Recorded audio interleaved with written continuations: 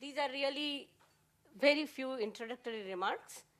So indeed, the need for mainstreaming gender is not something that we need to discuss or establish. I think that's that's kind of uh, obvious. But I think the thing that we need to discuss, and that was said by Anton also today, is what are the measures of gender equity? How do we define the goals? And how do we achieve them? Most important. And that is what we, I think in this panel discussion we will begin, and hopefully in the other panel discussions we will continue. Uh, and clearly in this context, a cross-cultural discussion like it's happening here is going to only help. And aim of my few comments is only to say one or two words each about my panelists from India, about whom I know a little bit more than the others, and define the aims or the scope of the panel discussion as I see it and as I have discussed with Martina, so we have agreed on that, in fact. I should also here, this slide is a more personal note. I want to say that I'm personally very happy because uh, this is the second CEFIPRA Indo-French Symposium on Women in Science. The first one was something that uh, we imagined and did with uh, Jennifer Clark, who is not here today, but she used to be the scientific attaché in Bangalore and a tremendously enthusiastic person. And I think we had the first Indo-French seminar at that time, and some of the French friends had come to India at that time. That was three years ago. So I take a particular personal pleasure in the fact that there is a second edition of the same. And secondly, which many of you may not know, but my own interaction with women in science began here in Paris about uh, more than 15 years ago because I was invited as a speaker at the first international conference on women in physics at, uh, by, which was held by IUPAP. And I, th I think Catherine uh, Bréchignac was actually the speaker from France. I, I don't remember. You, you, spoke there, no? I, I, was not sure who spoke, but I remember that. So that was my own uh, in, introduction to the world of women in science. Uh, so, okay, who, who, are the three Indian members of this panel? One is myself, and one is Dr. Neena Valecha. She is the director of National Institute of Malaria Research. And the second is Dr. Suchetana Chatterjee. She is a astro, young astrophysicist, and uh, uh, that is the, what these panelists are. Dr. Neena will give you some perspective of the status of women in science in India on the whole. Uh, that's why, if you notice, I called it uh, Indian Story and Invisible Bias is what this particular panel discussion, as far as I'm concerned, is about.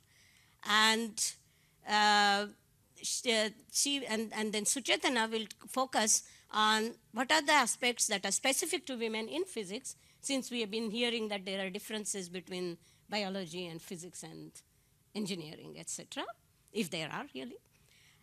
And then she will talk about something which I think is very crucial, which is the in invisible bias. We all now understand that that is perhaps one of the most important things that has to be dealt with. Uh, Royal Society even has a special document about it, in case you you know you people can take a look. And our aim would be, at least we will be looking at, to come out with recommendations for definite action plan beyond the actions which are going on, because both the countries have a lot of actions that are going on. And this will be then a contribution to the summary discussion on the last day. That is the aim. And uh, just to tell you what would be my contribution if from the audience, if people would want to ask questions, what are the kinds of things about women in science that I know about? I just thought I will list a few things. Is that I have been the founder chair of the Women in Science panel of the Indian Academy. I was involved in bringing out the INSA report of science career for women in India in 2004. I have been the chair of the, the Women in Science panel of the Indian National Science Academy. I have been a member of a similar group of Association of Asian Academies of Science and Asian Societies. And one of my co-authors is here. We brought out a survey report on trained scientific women power. What fraction are we losing and why? In addition to that, I have also brought out, I'm a co-author, co editor of two books. One book is called Lilavati's Daughters, Women Scientists of India. Uh, this is because at that time we felt that rather than look either to the world history or even Indian old history, we would look at scientific heroines of today. And therefore, we found out what is it that takes it to be woman scientist in India today. And we invited about 200 women of their achievements and profiled some of these women from our modern history. So that book is here, and this is similar to She Speaks program of Royal Society. In addition to that, we brought out a small book called A Girl's Guide to Life in Science. This contained 25 stories where we also told about the science they did. And last but not the least, we brought out a survey report which is called Trained Scientific Women Power How much are we losing and why? And this is the Asian Association of Academies and Societies of Sciences in Asia report, in which we brought out a women scientist in India.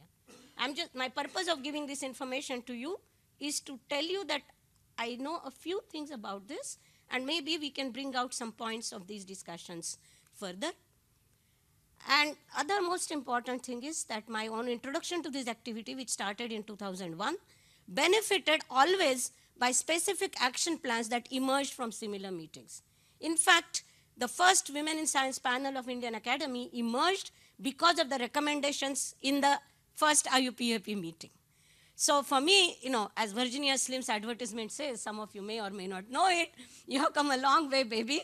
Maybe we have come a long way, but we have still more longer way to go. And for that, we need to charter the next steps. And in my own opinion, this is going to be involvement of the institutions, and that is my own input to whatever discussions we will have later. So thank you very much, and I will now invite our panelists.